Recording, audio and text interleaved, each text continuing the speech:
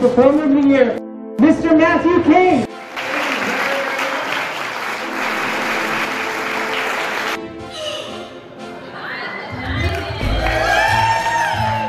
I do a little bit of mind reading, I do a little comedy. I want to use someone sitting up in the front row area, someone maybe wearing a little pink hat. Oh, right here! I didn't even see you there. The best musician in the world. The second best musician in the world. So let me choose someone. Welcome to my world, Lori. Turn it around and show the audience. The three of hearts.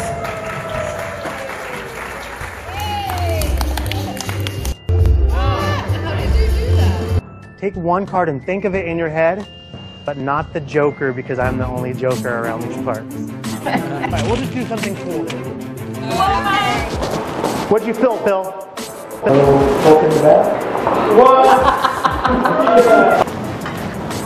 Okay, what'd you feel?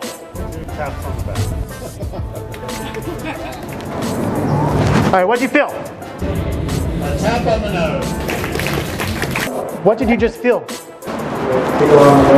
I didn't touch you. Really?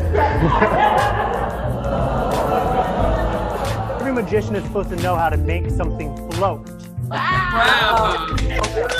Nothing connected to the sides, top, the bottom, or the front, or the back. How do you do that? So if I name your card, just have a seat for me. Ten of diamonds, two of spades, three of diamonds.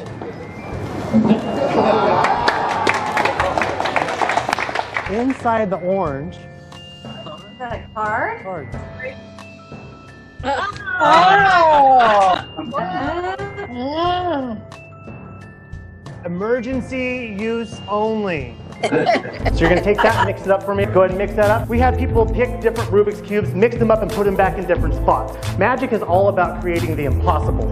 The cubes were mixed exactly to match the king of hearts. I love the magic of the movies. I have here different pictures of different celebrities. You had a free choice of any of these, any of these 10 actors.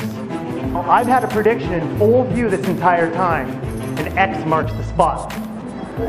None of them are Tom Cruise.